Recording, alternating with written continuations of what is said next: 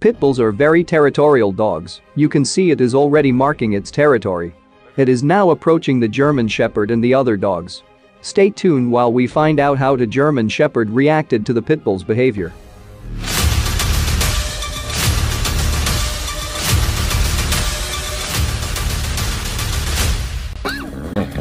Rin Tin Tin or Rin Tin Tin was a male German Shepherd born in Flirey, France. He became an international star in motion pictures.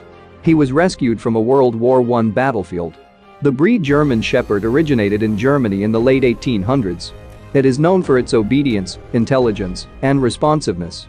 This is Max von Stephanitz, the founder of the breed German Shepherd. And Hector Linksrhein in 1899 was the first German Shepherd dog.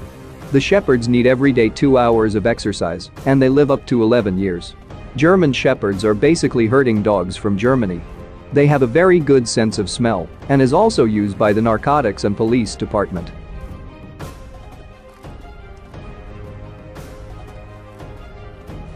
Now back to our dog park. Look at the posture of the pit bull, this is a posture of dominance. Once again it tries to dominate all the dogs, other dogs are totally submissive. When a dog is submissive to other dogs, they consider the other dog as alpha.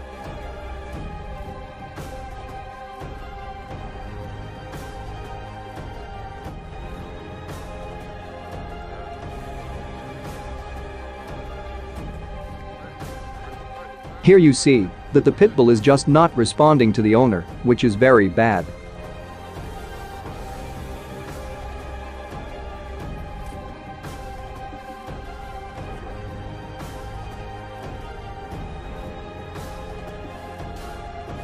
And moreover, there is no collar or leash to control the dog if things go sideways.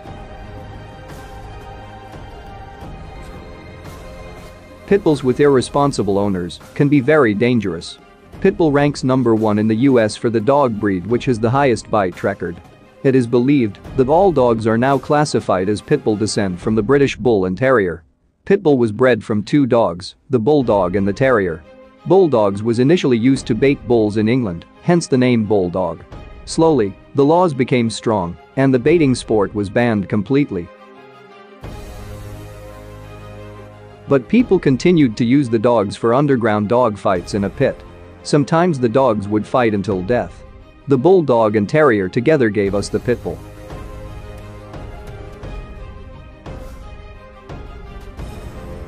Back to our park, the Pitbull is still trying to flex its muscles with the other dogs.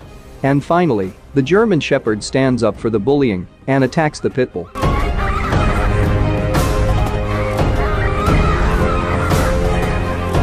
The Pitbull's tail hides between its legs, which means it is temporarily being submissive. And runs straight to its owner.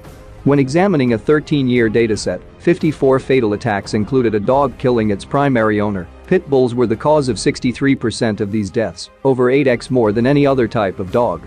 There is evidence to suggest that owners of vicious dogs are far more likely to have criminal convictions for violent crimes which may go some way towards explaining the pit bull's disproportionate rate of fatal attacks.